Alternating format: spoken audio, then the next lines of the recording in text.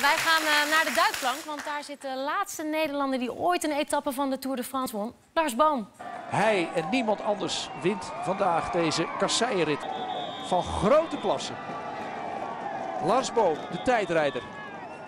Meervoudig kampioen. Kampioen van de wereld. En vandaag winnaar van een Tour-etappe. Zeker. En kijk wat het met die jongen doet. Hij snapt het. Natuurlijk. Nederland zat erop te wachten. Wij zaten er allemaal op te wachten. Fantastisch gedaan. Lars Boom rekent af met zijn achtervolgers. Met Nibali, de gele truidrager. De buit is binnen. Kijk eens even. Daar komt wat los. Ha, geweldig. Je zegt het net zelf, Lars. Het is nog maar twee jaar geleden. Ja, klopt. Dit is wel een van je mooiste overwinningen ooit, denk ik. Ja, zeker wel. Ehm, en eh, mijn laatste grote overwinning ook geweest. inderdaad. Ja, Nu ben je er niet bij. Je gaat namelijk volgende week naar de eh, ronde van Polen. dat is goed is wel. ja. Waarom? Waarom ben je niet hierbij? Waarom zeg je niet alles af om bij de Tour de France te zijn? Nou ja, bij, ik rij natuurlijk voor Astana. En eh, Astana heeft de kopman eh, Aru en eh, Nibali bij. En, en Fabio Aru heeft toch een beetje een vast clubje waar hij mee naar de grote rondes gaat. Dus dan is het toch al vrij lastig om in de ploeg te komen. En ik ben niet de beste klimmer, dus... en die hebben ze hard nodig, denk ik, als ze, als ze Aru kort in het klassement willen, willen krijgen. Hoe kijk je dan nu naar de Tour? Ontspannen. Eh, ik ga lekker trainen s ochtends en s- 's middags nog een keer trainen soms. En dan, eh, Beetje dan- tussendoor kijken. Plof ik op de bank of ik eh, kijk het s'avonds even eh, op de telefoon terug. Juist.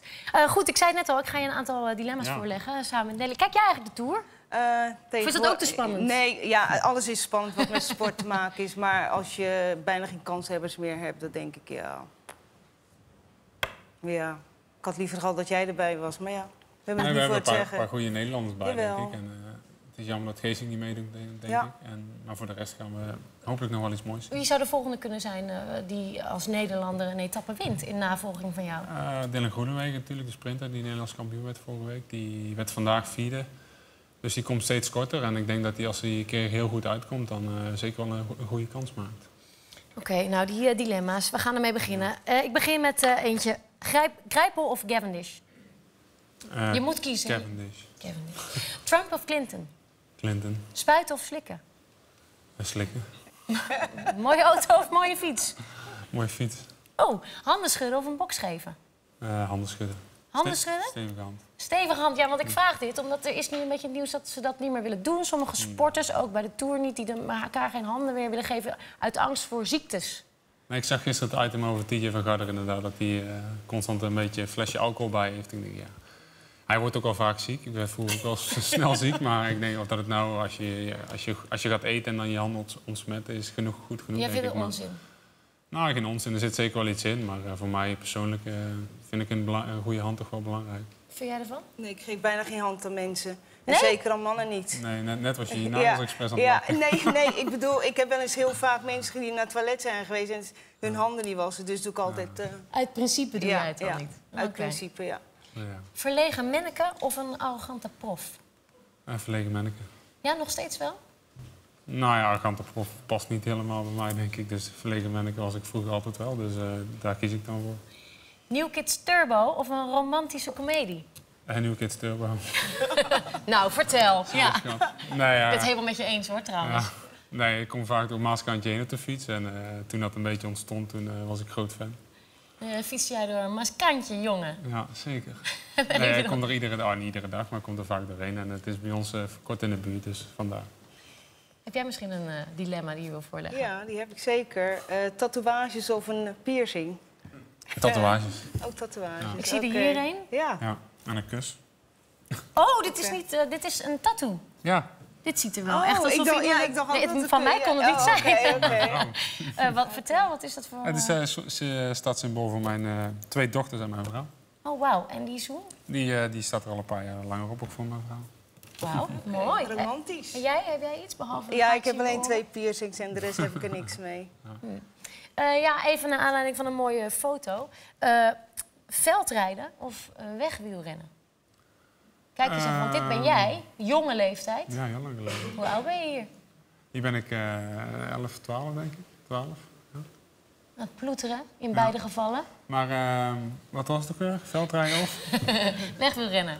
Eh, nou, dat is een moeilijke keuze. Ik denk dat veldrijden voor mij heel veel heeft gebracht. En eh, daardoor het wiel- wegwielrennen ook eh, veel heeft gebracht. Dus eh, toch wel het veldrijden, denk ik. Ja? Ja. Waarom kies je daar dan toch voor?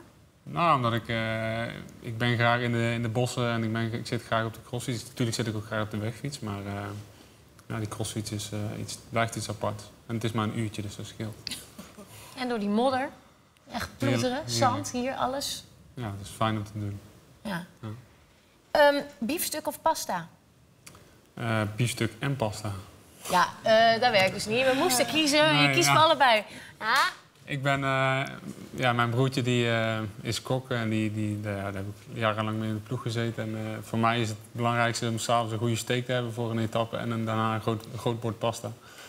Dus daar kan ik niet in kiezen. je wil ook gewoon niet Nee. kiezen. Nou, ja, de biefstuk, daar ging ik eigenlijk voor. Want Ja. we hebben je broer opgezocht. Nou, of Ja. tenminste, Filemon die is natuurlijk daar. En eh, hij is inderdaad de kok bij Lotto Jumbo. Ja. En eh, we zijn eventjes bij hem langs geweest. De jongens krijgen vanavond lekker salade met grote kip. Een beetje paprika, geblancheerde broccoli. Dan doe ik nog lekker een klein beetje boter erin, dat mag wel. Om een beetje smeuig te maken. En eh, daarna krijgen we als hoofdgerecht is vanavond een eh, lekker stukje zalm. met, eh met volkoren spaghetti. Wat de jongens eten is eigenlijk gewoon eh, vooral een- meteen na de koers eh, koolhydraten. Eh, ook eiwitten, omdat ze spierschade oplopen. Dus de eiwitten zorgen ervoor dat dat dat de spierschade minder wordt. Ja, en vooral de koolhydraten. Ze moeten natuurlijk gewoon weer energie hebben om te kunnen herstellen. Eh, en om de dag erna gewoon weer eh, een beetje fatsoenlijk voor de dag te komen. Dus ja, het is echt energie, energie, energie. Lars probeert altijd wel, eh, wel iets extra's voor elkaar te krijgen. Ik, ik, weet dat Lars altijd wel van een flinke biefstuk hield, maar ja, het is niet altijd goed natuurlijk om een biefstuk te eten voor een, voor een bepaalde etappe. Dus ja, dat, dat, dat- dat kreeg je dan ook niet. ik denk ook als je iemand voortrekt, je dan, dat die andere renners ook echt gaan merken. En nou ja, dan, krijg je, krijg scheve gezichten. Dus, en eh, dat wil je niet hebben. Ik zie Lars niet e- echt als een concurrent. Andere mensen in de ploeg die, die, die, denken misschien wel zo, omdat ja, het is natuurlijk een andere ploeg. En, eh, voor mij blijft het mijn broer natuurlijk. En eh, ik kijk natuurlijk, als, ik, als wij in dezelfde wedstrijd zitten, kijk ik misschien wel meer waar mijn broer in het peloton zit dan waar, waar mijn eigen renners zitten. Maar dat is eigenlijk gewoon ja, dat is automatisme, weet je wel. Daar, daar, daar kun je niks aan doen. ik zou het zeker wel, eh, wel- wel leuk vinden om weer eh, met Lars te, te werken natuurlijk, eh, in deze ploeg. Ja, zeg nooit nooit. Eh, je weet nooit wat er gebeurt. Dus, eh, ik- misschien kun je, kan, eh, kan iemand anders al hem in de, in de studio al vragen. Ik, ik weet het niet. Ik, ik weet het antwoord niet erop.